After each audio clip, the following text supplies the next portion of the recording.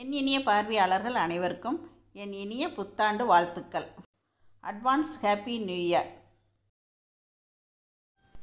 welcome to Sarasu சமையல் புது வருஷ பிறப்புக்கு ஒரு ஸ்வீட் தான் உங்களுக்கு நான் செஞ்சு காட்ட போறேங்க. அதுவும் வந்து புது வருஷ பிறப்புக்கு ஒரு புதுமையான இனிப்பு தான் உங்களுக்கு நான் செஞ்சு காட்ட போறேங்க. ரொம்ப சத்தானது அப்படின்னு கூட சொல்லலாங்க. வாழை இலை கேசரி. இந்த வாழை இலை வந்து மருத்துவ குணம் கொண்டது அப்படிங்கிறது உங்க எல்லாருக்குமே தெரியும். வாழை இலையோட குருத்துலேருந்து இலையிலேருந்து தண்டுலேருந்து பழத்துலேருந்து காயிலேருந்து அதோட நார் கூட பூ கட்டுறதுக்கு நமக்கு உதவுங்க.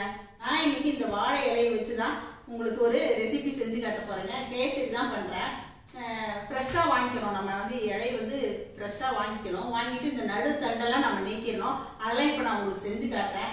அப்புறம் வந்து கூடவே வந்து வாழை இலை ஸ்ட்ராபெரி கேசரி. ஸ்ட்ராபெரி வந்து எங்களோட உழவு சந்தையில் கிடச்சிதுங்க. அதனால் நான் வந்து இந்த மாதிரி ஒரு பேக்கெட் வாங்கிட்டு வந்தேன். இந்த ஸ்ட்ராபெரி வந்து ஒரு புளிப்பு தன்மையோட ரொம்பவே நல்லாயிருக்கும் இனிப்போட. அதனால் வந்து இப்போ இது ரெண்டையும் வச்சு தான் இன்றைக்கி நான் உங்களுக்கு கேசரி செஞ்சு காட்ட போகிறேங்க புத்தாண்டு ஸ்பெஷலாக அட்வான்ஸ்டாகவே உங்களுக்கு நான் இந்த கேசரியை செஞ்சு காட்டுறேங்க. அப்புறம் அதே மாதிரி அட்வான்ஸ்டாகவே உங்கள் எல்லாருக்கும் இனிய புத்தாண்டு வாழ்த்துக்கள் தெரிவிச்சுக்கிறேங்க.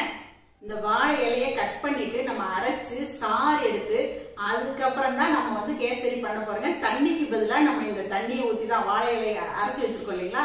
அதை வடித்து தண்ணியை ஊற்றி தான் நம்ம பண்ண போகிறோம் வாங்க இப்போ இந்த புதுமையான கேசரி எப்படி செய்யறது பார்க்கலாம். வீடியோக்குள்ளே போகலாங்க சரஸ்வஸ் ஃபுட் ப்ராடக்ட்ஸ் பொடிவைகள் தேவைப்படுறவங்க இங்கே கொடுத்துருக்க வாட்ஸ்அப் நம்பரில் காலை பத்து மணி முதல் இரவு ஏழு மணி வரைக்கும் எங்களை காண்டாக்ட் பண்ணலாங்க. இதோட பருப்பு பொடி எள்ளு பொடி இன்ஸ்டன்ட் அடை மிக்ஸ் சுக்குமல்லி காஃபி பொடி ராகி நட்ஸ் மில்க் பவுட்ரு எல்லாமே நாங்கள் தயாரிக்கிறோங்க. தேவைப்படுறவங்க காண்டாக்ட் பண்ணுங்கள் இப்போ நம்ம கேசரி செய்ய தேவையான பொருட்கள் பார்த்துடலாங்க தேவையான பொருட்கள் எல்லாமே எடுத்து வச்சுருக்கேன். வாழை இலை இந்த மாதிரி ஒரே ஒரு இலை நான் எடுத்துக்கிட்டேங்க. இரநூறு கிராம் ரவைக்கு ஒரு வாழை இலை எடுத்துக்கிட்டேங்க. இப்போ இப்போ சென்டரில் வந்து நம்ம ரெண்டாக கிழிச்சிக்கணும். இந்த தண்டை எடுத்துடணும் எடுத்துட்டு கட் பண்ணி தான் நம்ம பண்ண போகிறோம் ரவா வந்து ஒரு கப் எடுத்திருக்கேங்க. ஒன்றே கால் கப் சர்க்கரை எடுத்திருக்கேன். நெய் கால் கப் எடுத்திருக்கேங்க. ஏலக்காய் தூள் தேவைக்கு எடுத்திருக்கேன். அப்புறமா கொஞ்சம் ஸ்ட்ராபெரி நான் இன்றைக்கி எடுத்திருக்கேன். இதை வந்து நம்ம கட் பண்ணி போட்டு தான் சேர்க்க போகிறோம் அப்புறம் நட்ஸ் எல்லாம் நம்ம பிரியத்துக்கு என்ன வேணால் போட்டுக்கலாங்க. அப்புறம் ரெண்டே ரெண்டு டீஸ்பூன் ரீஃபைண்ட் ஆயில் விட்டுக்கலாம். இப்போ நம்ம இந்த இலையை கட் பண்ணிவிட்டு இந்த ஸ்ட்ராபெரியும் குட்டி குட்டியாக கட் பண்ணி எடுத்துகிட்டு வந்துடலாங்க. வாழை இலையை நல்லா தண்ணியில் வாஷ் பண்ணிவிட்டு பாருங்கள் இந்த மாதிரி தண்டை எல்லாத்தையுமே நம்ம எடுத்துடணும். அடித்தண்டை எடுத்துகிட்டு நம்ம சைடில் இருக்கும் பாருங்கள் அந்த தண்டையுமே இந்த மாதிரி ஒட்டி இருக்கும் பாருங்கள் இலையை ஒட்டி. அதையுமே வந்து நம்ம கெட்டியாக இருக்க பகுதி எல்லாத்தையுமே நீக்கிட்டு இந்த மாதிரி இலையை மட்டும் எடுத்துகிட்டு இலையை வந்து நம்ம இந்த மாதிரி கிழிச்சிக்கணும். சின்ன சின்ன பீசஸாக ஆக்கிட்டு அதுக்கப்புறம் தான் நம்ம மிக்ஸி ஜாரில் போட்டு அரைக்க போகிறோங்க பெரிய பீஸாக இருந்தால் மிக்ஸி ஜாரில் சுற்றிட்டு அரைபடாதுங்க அதனால் குட்டி குட்டியாக இலையை வந்து இந்த மாதிரி கிழிச்சு எடுத்துகிட்டு இப்போ நம்ம மிக்ஸி ஜாரில் இதை சேர்த்துடலாங்க இதை சேர்த்துட்டு நம்ம கொஞ்சம் தண்ணி விட்டு தான் அரைக்க போகிறோம் இப்போ நம்ம தேவையான அளவுக்கு கொஞ்சம் தண்ணி விட்டுக்கலாங்க. மறுபடியும் தேவைன்னாலும் நம்ம தண்ணி விட்டு நல்லா அரைச்சி எடுத்துக்கலாங்க. நல்லா வந்து ஒரு சட்னி பதத்துக்கு இதை நம்ம வந்து அரைச்சி எடுத்துக்கிறோம். பாருங்கள் இந்த மாதிரி நல்லா அரைச்சிக்கணும். ஆனால் வந்து பிளேடில் சுற்றிட்டே தான் இருக்கும். அதுக்கப்புறம் நம்ம கையில் எடுத்து இதை நம்ம நல்லா பிழிஞ்சு விட்டுக்கலாங்க. பாருங்கள் இந்த மாதிரி ஒரு வடிகட்டி வச்சுருக்கேன். இதில் வந்து நம்ம அந்த தண்ணியெல்லாம் நல்லா சக்கையாக இறுக்கி பிழிஞ்சு எடுத்துடணும் அரைச்ச வாழை இலையை இந்த மாதிரி நம்ம நல்லா வடிகட்டிக்கணுங்க. இந்த மாதிரி வடிகட்டிட்டு அதுக்கப்புறம் மறுபடியும் நம்ம கையில் நல்லா இறுக்கி பிழிஞ்சு எடுத்துடணும் இந்த மாதிரி பிழிஞ்சு எடுத்துகிட்டு நான் இன்னொரு ஃபில்டர்லேயும் மறுபடியும் செகண்ட் டைமும் மறுபடியும் ஃபில்ட்ரு பண்ணணுங்க. நம்ம தண்ணிக்கு பதிலாக இந்த சாறு தான் சேர்க்க போகிறோம் அதனால் நம்ம தேவையான அளவுக்கு தண்ணி விட்டு நல்லா சக்கையாக பிழிஞ்சு எடுத்துக்கலாங்க. இப்போ நான் ரெண்டாவது டைம் வந்து ஃபில்ட்ரு பண்ண போகிறேன் இப்போ இதை வந்து ரெண்டாவது டைம் ஃபில்ட்ரு பண்ணாலுமே கொஞ்சம் கொஞ்சமாக அந்த அடி திப்பியெல்லாம் நிற்கும் அதையும் நம்ம நல்லா வடித்து எடுத்துக்கணுங்க.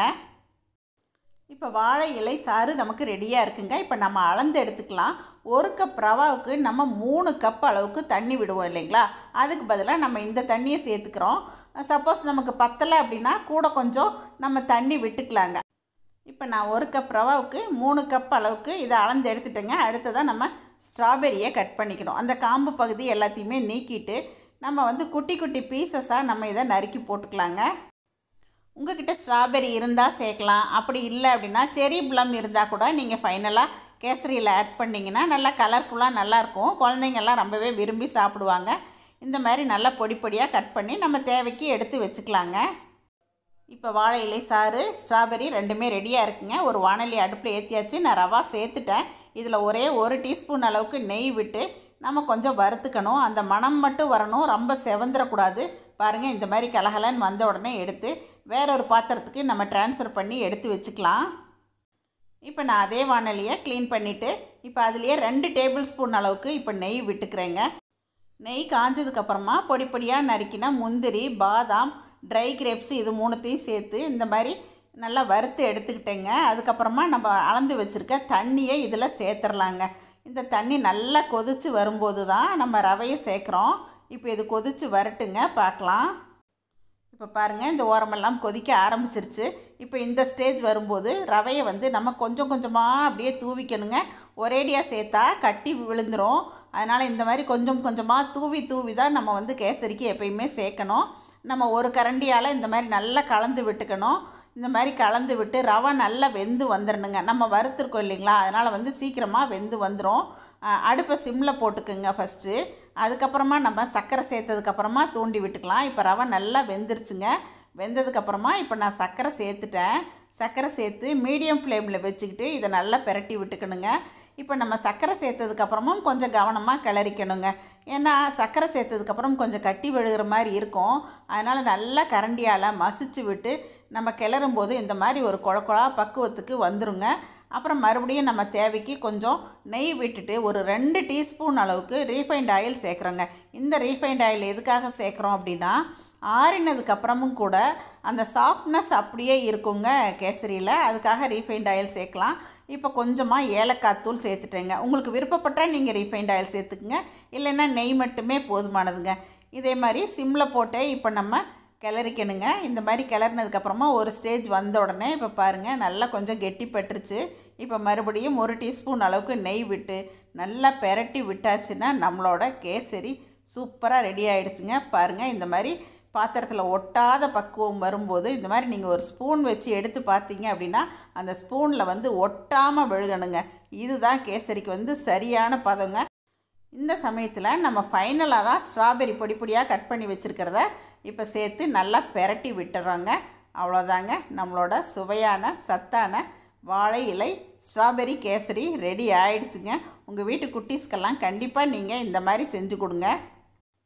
இந்த மாதிரி கேசரி செய்யும்போது நம்ம வந்து கலர் சேர்க்க வேண்டியதில்லைங்க. எந்த ப்ரிசர்வேட்டிவ்ஸுமே சேர்க்காமல் பாருங்கள் நல்ல ஒரு இளம் பச்சை நிறமான கேசரி இப்போ நமக்கு ரெடி ஆயிடுச்சுங்க. அந்த வாழை இலையோட நிறம் கிடச்சிருக்கு நமக்கு. இப்போ நம்மளோட வாழை இலை கேசரி ரெடி ஆயிடுச்சுங்க.